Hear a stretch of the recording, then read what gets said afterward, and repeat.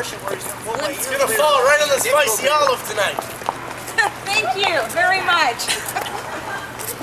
oh, we're going right in here. Awesome. Because I gotta pee It's a already. blimp. Yeah, we're going Blimp's to new. the spicy olive that